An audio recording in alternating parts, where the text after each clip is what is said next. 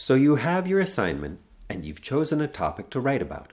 This video explains how to turn your topic into keywords you can search in the library's databases. Generating keywords for your topic will help you find articles to support your argument. Start by expressing your topic as a phrase or question. For example, the impact of gun laws on domestic violence, or how does nutrition affect kindergarten school performance? Keep in mind that a good research topic is specific and complex. This means that it's not too broad for the assignment, nor is it something that could just be answered with a Google search. Take a look at your topic.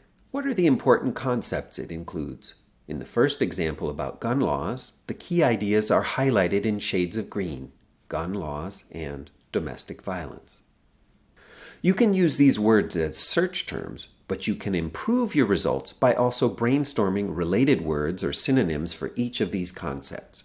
For domestic violence, we might also search for the phrases family violence or intimate partner violence. It can also be helpful to think of broader and narrower terms related to your topic. A broader term is the wider subject or category your topic fits into. A narrower term is a more specific version or an example of the idea you're looking for.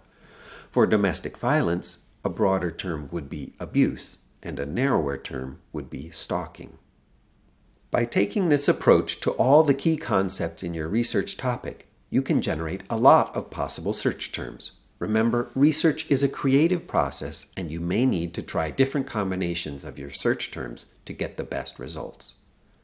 For more help with creating keyword searches, please call us at 413 755 4549 or stop by the reference desk in Building 19.